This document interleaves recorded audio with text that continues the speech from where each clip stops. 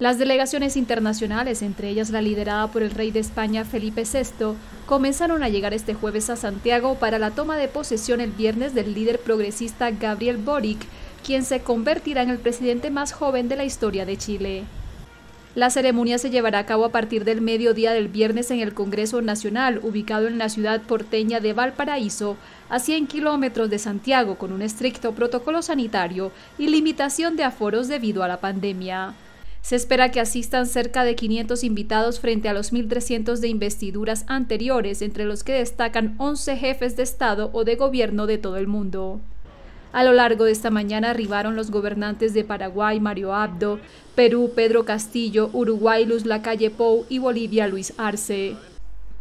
Boric, el primer presidente que no forma parte de los dos bloques de centro que gobernaron Chile desde el retorno a la democracia en 1990, sostuvo durante el día una ronda de 16 reuniones bilaterales en la Municipalidad de Santiago con jefes de Estado, de Gobierno y algunos invitados especiales de otros países.